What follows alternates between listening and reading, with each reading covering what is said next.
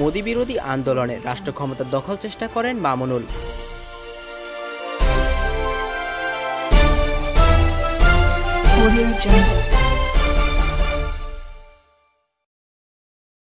ভারতের প্রধানমন্ত্রী নরেন্দ্র মোদীর সফর বিরোধী আন্দোলনের নামে হেফাজতে ইসলামের কেন্দ্রীয় যুগ্ম মহাসচিব ও ঢাকা মহানগর শাখার সাধারণ সম্পাদক মামুনুল হক সরকার উৎখাত করে রাষ্ট্র ক্ষমতা দখল করতে চেয়েছিলেন বলে জানিয়েছে পুলিশ।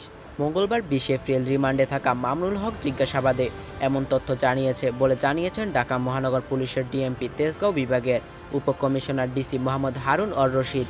গত ২৬ মার্চ ভারতের প্রধানমন্ত্রী নরেন্দ্র মোদীর বাংলাদেশ সফর ঘিরে দেশের বিভিন্ন স্থানে বিক্ষোভ করেন হেফাজত নেতাকর্মীরা। সেই বিক্ষোভ সহিংসতায় রূপ নেয়। ওই সংঘাতে প্রাণ হারান অন্তত আঠারো জন। সেসব ঘটনায় একাধিক মামলা হয়। মামলার আসামিদের ধরতে অভিযান শুরু করে আইন শৃঙ্খলা বাহিনী। গত রোববার আঠারো এপ্রিল রাজধানীর মোহাম্মদপুর থেকে গ্রেফতার করা হয় মামুনুল হককে।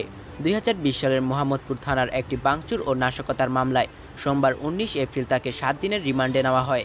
রিমান্ডে তাকে জিজ্ঞাসাবাদের তথ্য তুলে ধরে হারুন অর রশিদ সাংবাদিকদের বলেন, রিমান্ডে অনেক চাঞ্চল্যকর তথ্য দিয়েছেন হেফাজতে ইসলামের যুগ্ম মহাসচিব মামুনুল হক। তিনি জানিয়েছেন তিনি কমি মাদ্রাসার কোমলমতি ছাত্রদের উস্কানি দিয়ে মাঠে নামিয়েছিলেন। তার উদ্দেশ্য ছিল ভারতের প্রধানমন্ত্রী নরেন্দ্র মোদীর বাংলাদেশ সফরকে বিরোধিতার আন্দোলনকে কাজে লাগিয়ে সরকারের উৎখাত করে রাষ্ট্র ক্ষমতা দখল করা। ডিসি হারুন অর রশিদ বলেন, হেফাজতের নেতাকর্মীদের উস্কানি দিতেন মামুনুল। তিনি বলতেন, শেখ হাসিনার সরকারের পতন হলে হেফাজতের সমর্থন ছাড়া কেউ ক্ষমতা দখল করতে পারবে না। আরেকটি মামলার বিষয়ে পুলিশের এই কর্মকর্তা বলেন গত বছরের সাত মার্চ মোহাম্মদপুরের মারধরের ঘটনার ভিডিও দেখানো হলে মামনুল হক দুঃখ প্রকাশ করেন। এদিকে নারায়ণগঞ্জের সহিংসতার ঘটনায় দায়ের করা একটি মামলার প্রাথমিক তদন্ততে ওই সহিংসতায় মামুনুল হকের সংশ্লিষ্টতা পেয়েছে পুলিশের অপর তদন্ত কমিটি সিআইডি।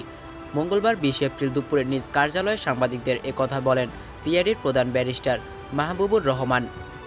তো ভিডিওটি শেষ পর্যন্ত দেখার জন্য আপনাদের সকলকে অসংখ্য ধন্যবাদ। ভিডিওটি ভালো লাগলে লাইক, কমেন্ট, শেয়ার করতে ভুলবেন না। তো দেখা হবে পরবর্তী কোনো নতুন ভিডিওতে। সে পর্যন্ত সকলে সুস্থ থাকবেন, ভালো থাকবেন এবং বিডি টিউব নিউজের সাথে থাকবেন। আল্লাহ হাফেজ।